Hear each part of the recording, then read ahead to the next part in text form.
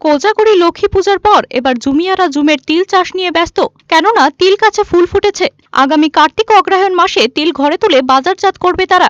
তবে এডিসি প্রশাসনের সরকারি সাহায্য সহযোগিতা ছাড়াই জুমের তিল চাষে এগিয়ে যাচ্ছে কাইক্লেশের মধ্য দিয়ে জুমিয়ারা। এমনটাই চিত্র উঠে এলো তেলিয়ামুড়া মহকুমার মুঙ্গিয়াকামি আরডি ব্লকের অধীনস্থ রঙ্গিয়াটিলা এলাকা থেকে। এই এলাকায় বসবাসকারী জুমিয়া তথা বিহারি দেববর্মা জানান, এবছর তিনি দেড় থেকে দুই কানি জায়গার উপর তিল চাষ করেছেন।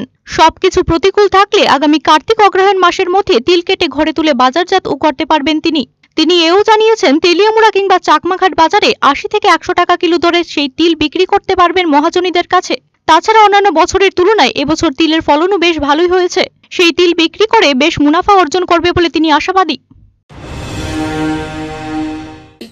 আবার তিল লাগাইছে। তিল ওই বালা মোটামুটি হয়েছে আবার কার্তিক মাসে কাটবো আর কি কার্তিক মাসে ফলন ভালো হয়েছে নি?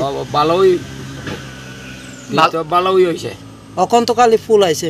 ফুল ধরছে গুতা ধরব তাহলে গুতা পাকব পাকলে কাটব কার্তিক মাসে কই নিয়ে বেচবো? চাকমা গাছ চাকমা গাছ বা তেলামুরা বেচতে পারে। কত কইরা কেজি? এটা? কেছি তো আগের দুই তিন বছর আগে তো একশো টাকা। এখন ঠিক নাই প্রথম হইল নব্বই টাকা বা আশি টাকা বেতন যায়।